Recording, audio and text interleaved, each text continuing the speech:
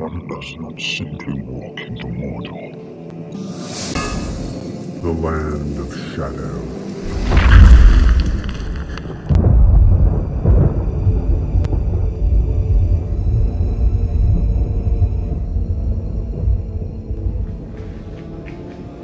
Hey everybody, uh, welcome back. Uh, as promised today, I was going to do a uh, another shadow cast on uh, the Lord of the Rings, the Rings of Power, uh, featuring uh, Adar, who is sort of the evil character we've seen thus far uh, in the in the series. Um, in the trailers, and also um, discuss uh, the Southlands, uh, which was a featurette that came out last week that sort of shows audiences a area of Middle Earth in the Second Age that will be featured in the series. Now, I'll, I'll just jump right in here and say I think anyone who has seen the Southlands uh, featurette knows that they are discussing Mordor. They don't come out and say it, but it's a pretty obvious if you look at the two maps. There's a map in the beginning, and you look at a map of Mordor. You can sort of see. Uh, you can even see uh, Mount Doom there uh, in the upper uh, part of the of the map, and then uh, it seems to be focused on the area uh, known as Nurnen, which is the farmlands that were used in by Sauron uh, with his slaves to feed his armies in Mordor. Now this comes later, of course, in the Third Age, um, but uh, I think that's what this area is. Uh, so it tells us a lot about many things we have seen and wondered about in the trailers, uh, the castle, the attack on the castle, uh, where Adar is featured, um, Arondir um, and uh, several of the other characters all kind of converge in some of these clips and we can see uh, and it's also in the uh, the clip that I showed yesterday the the double feature clip uh, reaction uh, video where I showed um, Sauron's army and I think there's some information there I'm going to be bringing in here uh, if you haven't seen either of those clips uh, you can go here to see them. Um, I'll have the link for one and then the link for the next one right after that. And you can take a peek at them uh, if, you, if you haven't seen them yet. So anyway, let's go ahead and dive in and we'll discuss Adar uh, and his attack on the Southlands.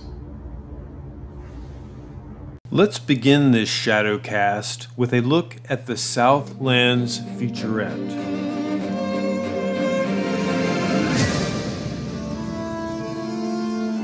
hundreds of years ago, the Southlanders sided with the wrong side. From the war, where we sided with evil. They've paid for that ever since. They've been outcast. Hardworking, it's, it's what they are, because they don't have much. They sort of had to start from scratch and rebuild.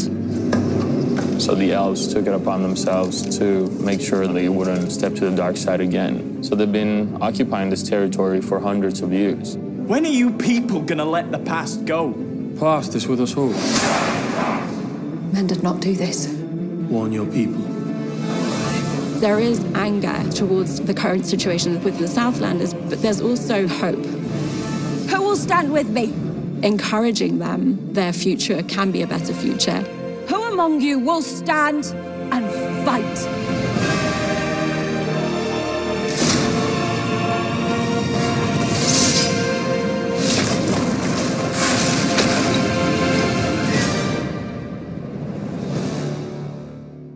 Before I get any further, there are a potential set of spoilers ahead, so be warned. The story threads of Adar, Arondir, Theo, and Bronwyn come together in the Southlands. Amazon has created a series of featurettes titled Stories of the Second Age. They have released three so far, but I think there may be a fourth. They have one on the Southlands, one on Lindon, one on Khazad-dûm, and I have provided links to each one of them. Uh, if you look below, uh, you'll see them. Each of these featurettes begin with a map of the region, and in this one you can clearly see that the Southlands lay within the borders of Mordor. Compare these two maps. You can see Anduin, you can see Mount Doom up in the uh, very top there, you can see the Sea of Nirn, and you see Poros on the left along the river Anduin. So this is clearly Mordor before the coming of Sauron. It's funny, it seems all along that we have see, been seeing images of Mordor and didn't even know it. The elven fortress and tower we've seen in promo images and in the trailers is located in the Southlands. If you look closely here, you can see that the tower is standing watch over the village. I believe this is the fortress we have seen attacked by the orcs led by Adar. It's interesting that the character Waldreg, who speaks the name of Sauron to Theo, Have you heard of Have you Sauron? appears to be in league with Adar. It is Waldreg, I think, who is seen walking beside Adar as they march on the tower. This character is definitely a human among orcs. I think Arondir flees the overwhelmed fortress with Bronwyn and Theo, who escape while he himself gets captured by the orcs. One thing I wanted to point out here in this image of the tower that we see from the trailer, if you zoom in, there's a mountain in the background that looks suspiciously like Mount Doom. Could this be Orodruin? Perhaps. So, who is Adar? The character appears to be a fallen and tortured elf under the will of Sauron. We have seen his pointy ears, and rumors have stated that he is an elf. The orcs shout Adar, Adar, Adar during the battle as a rallying cry, which translates in Sindarin as Father, Father, Father. Interesting. Some rumors claim that Adar may be one of Galadriel's brothers, either Angrod or Aegnor, who both died in the War of Wrath. This is a possibility, but it is unlikely and goes against canon. The only way this would work if they were not actually killed but were taken by the dark powers, perhaps Sauron, and tortured uh, into a ruined health.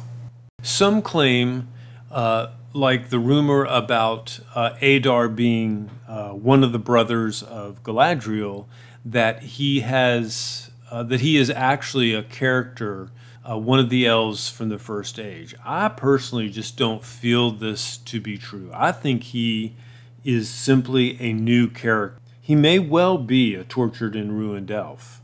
Tolkien himself was conflicted about the origin of the orcs, and his writing reflects this.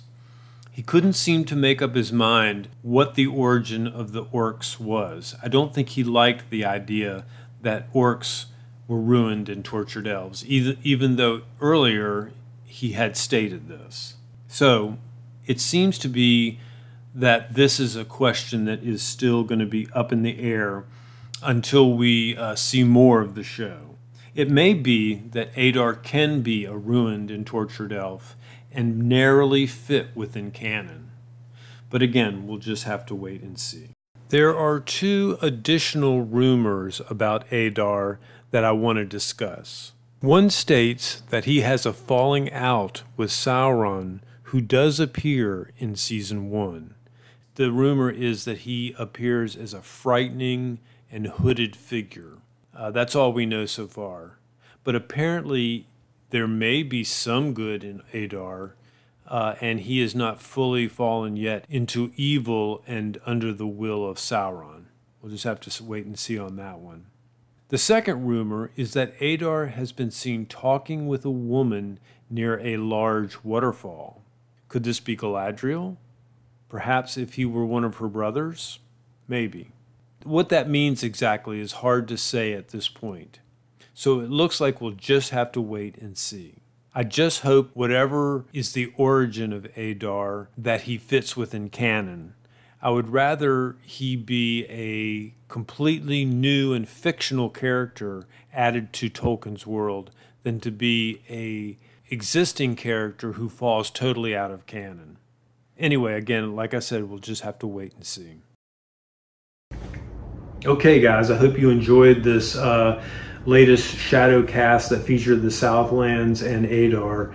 Uh, we don't know a lot about either yet uh, and how they're going to be featured in the story, uh, but it's sort of exciting to see uh, some of those characters and try and make some guesses about what uh, they're going to be doing in the series. Um, we're right here on the cusp of the show premiering. Um, I know everybody uh, is excited. Middle Earth fans are excited, but also, there's also a good bit of trepidation. Uh, so feel free to uh, post your comments after this video. If you uh, know any more information than I have uh, revealed here, definitely put it in the comment section for everybody else to hear, and uh, or just your ideas about what you think uh, this series is going to be like. Uh, again, before I go, I just want to mention that tomorrow I'm going to have a lore video uh, that will feature uh, the idea of why Sauron chose the land of Mordor uh, to make his assault on uh, Middle Earth. Um, so anyway, I think some of the reasons he did were very obvious, others not so much. So anyway, uh, I'll save all that for tomorrow, uh, and I'll see you guys uh, at the very feet of Mount Doom in the next Shadow